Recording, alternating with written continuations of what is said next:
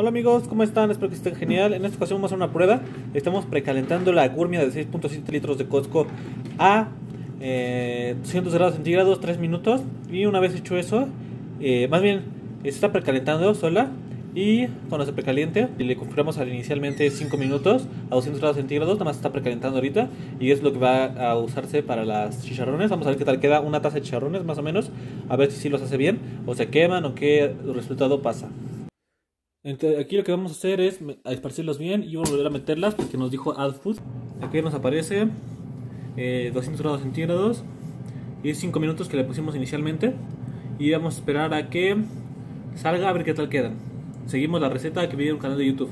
Vamos a ver qué tal quedó amigos. Ya a ver qué tal quedó. Vamos a esperar a que se acabe bien de apagar. Y vamos a echarle una cazuela que tengo aquí. Vamos a ver si se hicieron los charrones. Entonces vamos a ver qué, qué onda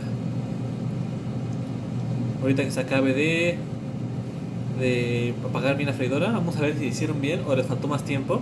Vamos a ver todo eso a continuación. Como pueden ver amigos quedaron muy bien. Muy buena receta se les recomiendo. Algunos no quedaron tan bien pero basta con retirarlos. De esta porción creo que nada más estos fueron los que no quedaron tan bien. Entonces los más chiquitos hay que retirarlos pero por lo demás creo que quedaron muy bien.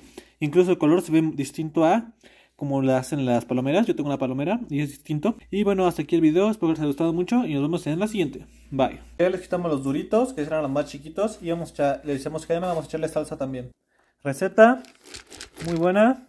Se ve muy rico y ya la receta final. Van está en la harina para las lagrimitas, chicharrones. Los venden en algunos comercios. Les recomiendo mucho esta idea y nos vemos en la siguiente. El ángel de las ofertas.